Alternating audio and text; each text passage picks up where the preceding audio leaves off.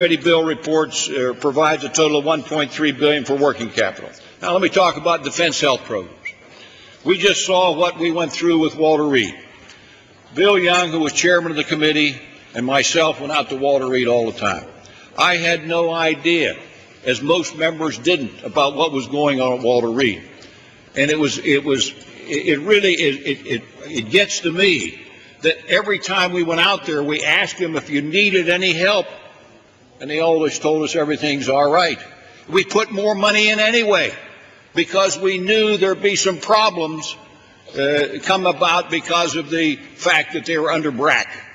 The committee decided unanimously to eliminate uh, the, the, the, closing of, of Walter Reed, especially during the time of war.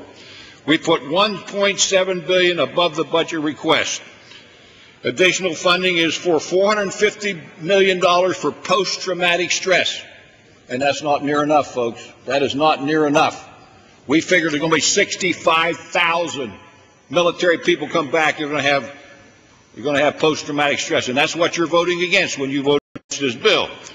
We're put 450 million in for traumatic brain injury care and research. 730 million to cover the funding shortfall created by Congress, having disapproved the department's proposal to increase health insurance premium.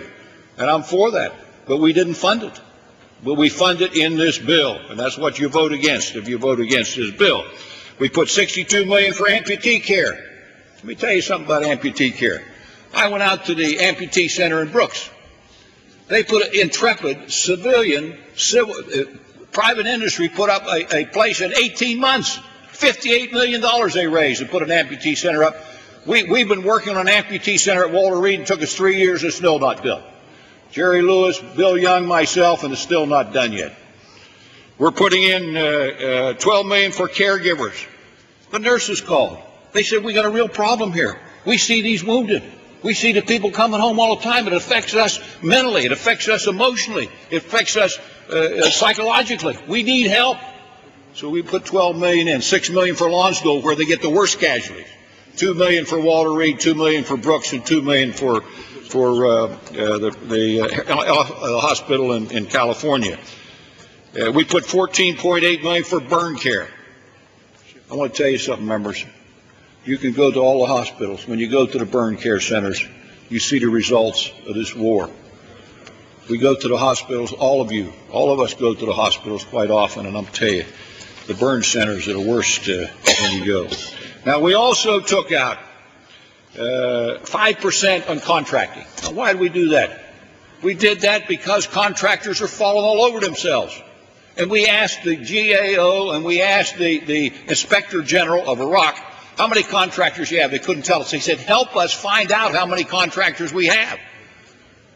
So we the Undersecretary of Defense, he couldn't tell us. He says, I'll let you know in a week. He still hasn't told us. So he took 5% out. They'll tell us now how many contractors they have and we we fenced 10 percent.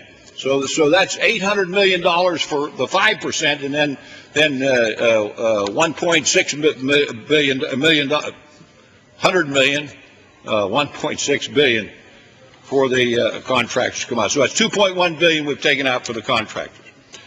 Uh, we put in for CERP, which is a program which 456 million provided under operation and maintenance money for the for the commanders. No permanent basis. We've said over and over again. We put in uh, no torture, which has caused us so much problem when they didn't have the people trained when they were in uh, uh, Abu Ghraib. Uh, uh, contracting oversight. We have a, uh, an amendment in for death gratuity, an amendment. Military attorneys, we put some money in for military attorneys. Meeting readiness guidelines. Let me tell you what we do to meet readiness guidelines.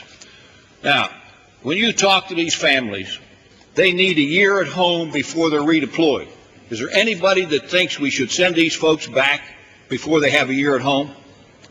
Is there anybody that thinks we should extend them when they have 13 months in country? Is there anybody that thinks we should send troops into combat who aren't trained and ready? Is there anybody here? We put benchmarks in for the Iraqi government, as, as uh, the chairman of the committee explained. because we need to give them the incentive. We need them to have some benchmarks so they understand that they have to get this done. Every time something happens, and this is the problem we have, every time something happens, we step in. They started out with, they said 80% of the units, or 80% of the people were in the units that were deployed in Iraq, the Iraqi units.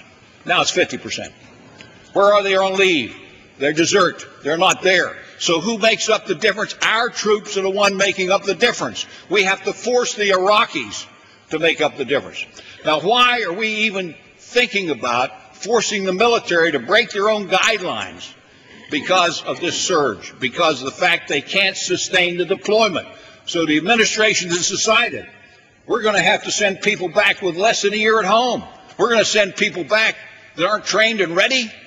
That's unacceptable. That's unacceptable. Every single member of Congress, we have an obligation to the taxpayer under the Constitution to take care of defense. We have an obligation to have oversight and auditing and accountability. We've had 14 hearings so far. We'll have at least 40 more hearings before we have the base bill. And I'm going to put you on notice right now. The supplemental, the 08 supplemental is not going to come up with the base bill. The 08 supplemental is going to be held because we're going to see if there's going to be progress in this country before we bring up that 08 supplemental. And, and, and we're going to we're gonna see if what they say is true. We're going to find out if this administration is, is giving this effect. We've said to them, under the Moran Amendment, we said to them, you have to tell us how much oil production, oil production below pre-war level. Electricity, two more minutes. I yield two more minutes to the gentleman. Electricity production below pre-war level. Unemployment is 60 percent. How else do you make incidents have doubled since I spoke out a year and a half ago? Doubled. They're now 1,200 a week. And when I say incidents, I'm talking about 140,000 troops deployed to Iraq individually. Indiv- I heard, I heard Elizabeth uh, Edwards the other day talk about breast cancer before she knew it had come back. And she said to me, there's 40,000 people that have breast cancer every year, but it's one at a time. What we're talking about are troops, 140,000 troops, one at a time. 140,000 troops with families, 140,000 troops that have wives and husbands and mothers and fathers that have to suffer during these deployments. So don't think that when you go to the hospital, you see figures don't think when you say you, you see uh, 2,500 people that who have been killed, 3,000 have been killed, or, or 25,000 have been wounded. It's individuals that have been wounded, individuals have been killed, and those families are suffering. And we have to put some benchmarks so the Iraqis, they have a civil war. We have to put benchmarks in this bill so the Iraqis start to do it themselves and the Americans aren't forced to make up the, the difference and do it themselves.